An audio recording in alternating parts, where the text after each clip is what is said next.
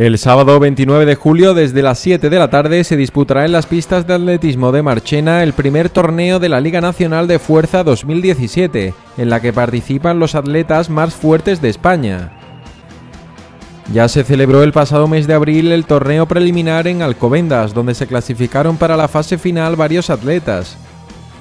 Durante el evento se disputarán cinco duras pruebas que consistirán, la primera en el arrastre de un camión de 10 toneladas, la segunda en el levantamiento de un cilindro de hasta 150 kilos de peso por encima de la cabeza.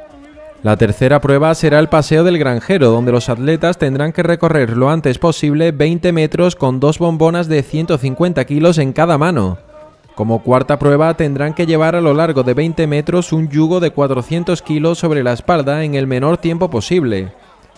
En la quinta y última tendrán que voltear un neumático de 400 kilos el mayor número de veces en un minuto y medio.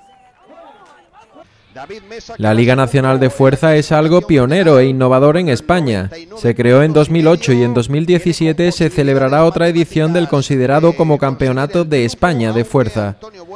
Esta competición se celebra en diferentes localidades españolas, con la participación de los mejores atletas de fuerza llegados desde diversos puntos de España.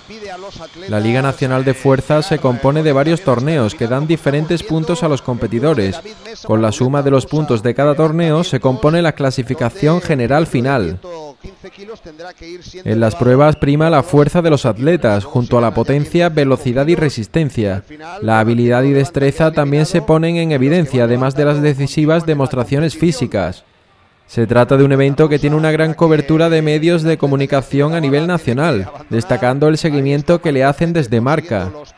Además, con anterioridad se ha emitido en televisión nacional en cadenas como Eurosport y Marca TV.